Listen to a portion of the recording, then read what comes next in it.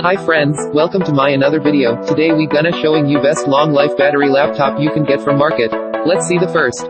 First one is Samsung Notebook 9. The Samsung estimates about 9 hours of battery life out of this. It is a full 360 degree convertible laptop from Samsung. This is a 13.3 inch full HD touch display. And you get a nice and easy to use lightweight tablet. And it throws in Samsung's signature SONE technology. It has the latest 8th generation Intel Core i processor up to 16 GB RAM and 256 GB of SSD storage. Samsung has still packed in a full complement of ports. It has an HDMI ports and it has USB-C, and it has a full headset audio jack, and it also even has a full-size USB a port and micro SD card slot and a power button. Samsung also HASNT skimped on security. This has the full Windows Hello security suite. It has a pair of IR cameras up top for facial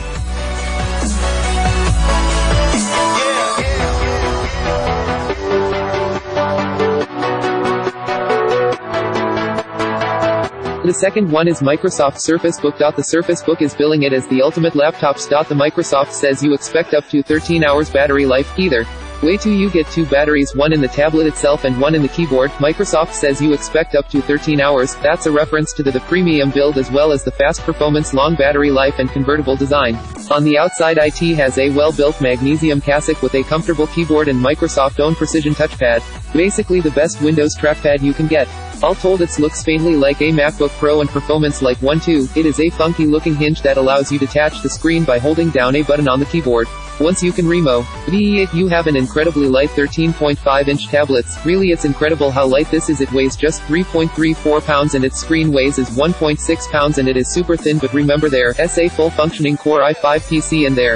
If you want you can also attach the screen facing backward and then flip it down into tablet mode. It perform like a 1-2. Under the hood you get either 6 Generation Core i5 or i7 processor paired with 8 or 16 gigs of RAM up to 512 gigabytes of SSD storage and an optional NVIDIA GPU. I benchmarked it both with and without discrete graphics but even without its fast, I says that's conservative estimate, I actually go around 14 with INTEGRETED graphics.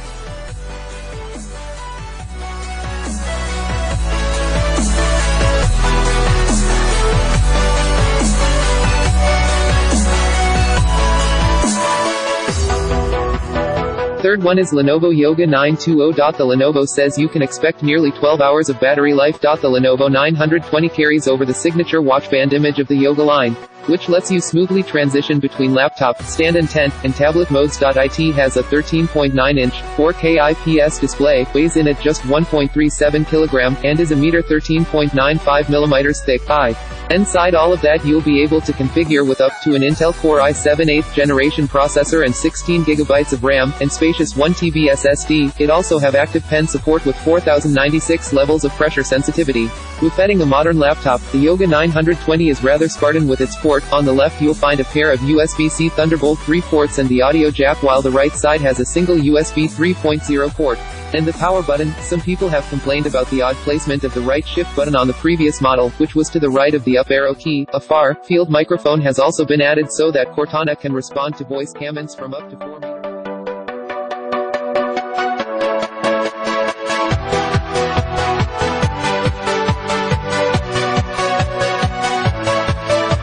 Fourth one is LG Gram 15. The Lenovo says to you expect up to 10 hours of battery life. This is LG Gram which is thin and light notebook usually remarkably thin eye. Enlight LG Gram series gets its name from the fact that they hadn't weigh about a kilogram and this is probably in smallest model today.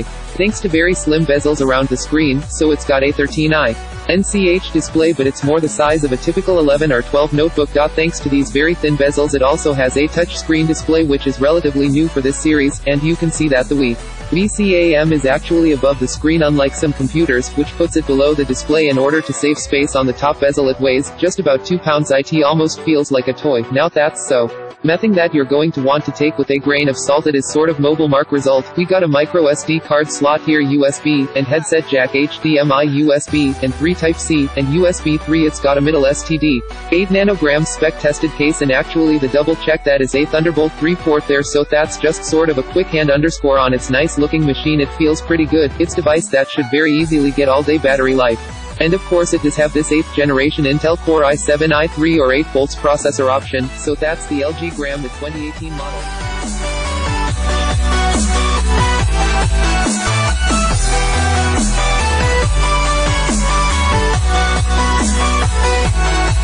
Fifth one is Acer Chromebook 14. Acer says you can expect 12 hours of battery life. The first thing you will notice is that it is the first laptop to use Corning, yo, you new vibrant Gorilla Glass cover and this allows the company to actually print photos directly onto substrate, and it keep it really hardy and resistant to cracks and breaks. But it has a really UNIQ. You look and a lot of people going to really like that opening. This up though is where things get interesting. You have a 14 inch full HD display and inside, you have up to a 6th generation Skylake base Core i Intel processor. We also have a spill resistant keyboard which is really handy, if you're ever been as clumsy as, I haven't broken a laptop because you spilled a cup of cough on IT, in at it. Eye onto that this is military standard grade protected, which means that you can drop this room up to 48 inches and it's not going to get damaged, and this is very rebossed plastic on the bottom 4GB of RAM which is some of the longest in the Chromebook space. This is aimed at the enterprise market and as a result it's certified for Chrome for Work which is Google's business and enterprise initiative which allows it administrative to push certain limitations certain extension and certificates to employees out of business.